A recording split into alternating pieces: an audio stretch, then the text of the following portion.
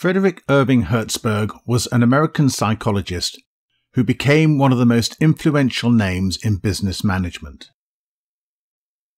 Herzberg proposed the motivation hygiene theory in 1959 in the book The Motivation to Work.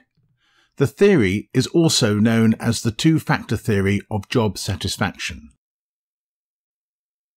The theory is based on an extensive survey of motivational factors at work and the theory is often used in the context of Maslow's hierarchy of needs.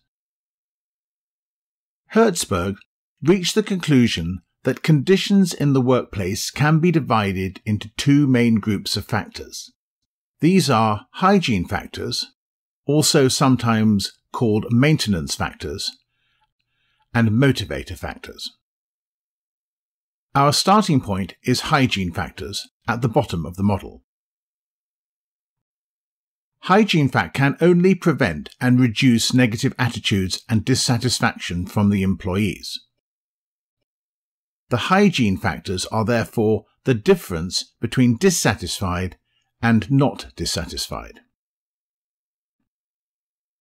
When management covers hygiene factors, they do not create satisfaction and thereby motivation. They only ensure that the employees are not dissatisfied the employees will come to work every day, but will not be motivated to make any extra effort in their work. The employees' hygiene factors have to be covered before you can move on to the next level, which is the motivator factors at the top of the model. Motivator factors can create a positive attitude and satisfaction from an individual employee. The motivator factors are therefore the difference between not satisfied and satisfied. When management uses the motivator factors in the right way, they can give the individual employee the feeling that they have accomplished something. They have made a difference. Herzberg two-factor theory clearly shows that hygiene factors cannot create motivation, they can only prevent and reduce dissatisfaction and negative attitudes. Hygiene factors are characterized as extrinsic components of job design. It is about the surroundings of the job. This is something that the employee expects will be properly organized. Motivation factors create positive attitudes towards work but it requires the presence of motivational factors that are important to the individual employee. Motivators are intrinsic to the job itself and thereby about the individual employee satisfaction. Hygiene factors must be met first. There must be no dissatisfaction among the employees. Only then can you work on their motivation factors? Now we shall review both the hygiene factors and the motivator factors, which Herzberg identified in his study. It is logical to start with hygiene factors, since we cannot use motivator factors before the hygiene factors are met. Job security the organization must provide job security to the employees. It creates great dissatisfaction and negative attitudes if employees are afraid of being dismissed. Status The employee's status within the organization should be recognized and maintained. Management must be aware that an employee who feels demoted in a restructuring of the company is very dissatisfied. Interpersonal relations. The relationship of the employees with his peers, superiors and subordinates should be appropriate and acceptable. There should be no conflict or humiliation element present. The personal life of the employee affects the person's attitude towards work. Management must be aware of this aspect, and the employees should be offered health care plans benefits for the family members, employee help programs, etc.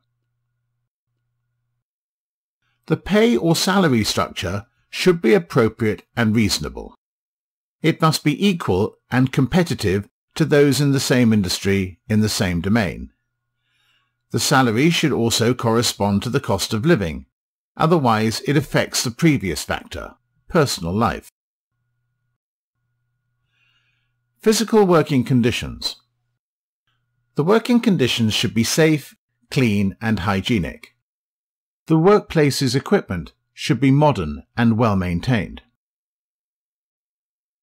The supervisors or management must set the direction for the company and how the employee fits into the company's overall plan. Otherwise, the employee will be uncertain and therefore negative. Company policies and administrative policies. The company policies should not be too rigid. They should be fair and clear they should include flexible working hours, dress code, breaks, vacation, etc. Now we will review motivator factors. Growth opportunities. There must be growth opportunities in an organization to motivate the employees to perform well. The employee must have the opportunity to develop both professionally and personally in their work. Advancement opportunities. Many employees want to make a career at work. Therefore, there must be advancement opportunities in the organization. As a manager, you should be aware of the difference of growth and advancement factors. Not all employees want to advance to a higher level in the company. They prefer growth opportunities, not advancement opportunities. Responsibility. The employees must hold themselves responsible for their work. Their managers should give them ownership of the work. They should minimize control but retain accountability. Meaningfulness of the work. The work itself should be meaningful, interesting, and challenging for the employee to ensure they perform and are motivated. Recognition. The employees should be praised and recognized for their accomplishments by their managers or their colleagues in the group. Recognition is always positive if it is given sincerely from people you respect. Sense of achievement. The employees must have a sense of achievement. The employee must have the opportunity to accomplish a difficult job successfully typically by effort, courage, or skill. A craftsman finishing a difficult job, or a salesman successfully winning a difficult order. Then they will feel that they have achieved something. Now we shall review how you, as the manager, can use the model in respect of your employees. You need to adopt a two-stage process to motivate people. Firstly, you need to eliminate any dissatisfaction they're experiencing. Secondly, you need to help them to achieve satisfaction.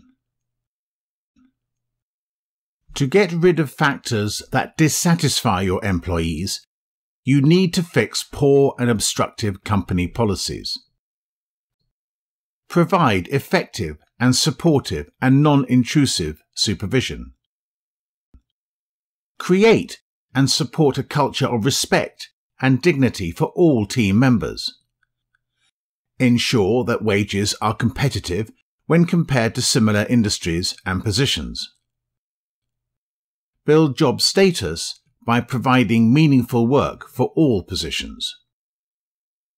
Provide job security, not only by telling them that you will not dismiss people, you must make an effort to keep your employees by retaining and redeployment to other jobs. You have to show that you take job security seriously.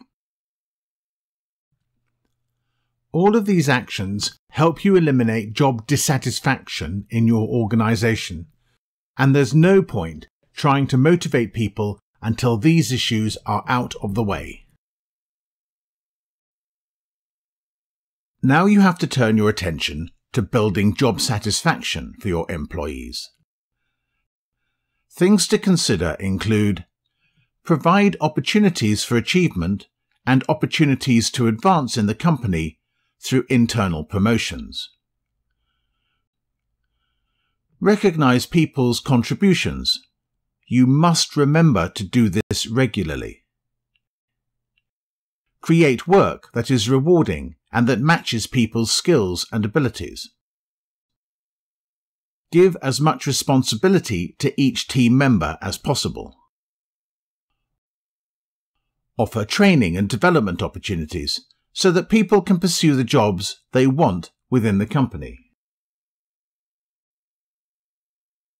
Now we shall review a criticism of the model. The two-factor theory overlooks situational variables. The theory does not take into account that employees often have individual hygiene and motivational factors. In reality, you'll need different strokes for different folks. In other words, different people will perceive different issues and will be motivated by different things. Herzberg assumed a correlation between satisfaction and productivity. But research conducted by Herzberg emphasized satisfaction and ignored productivity.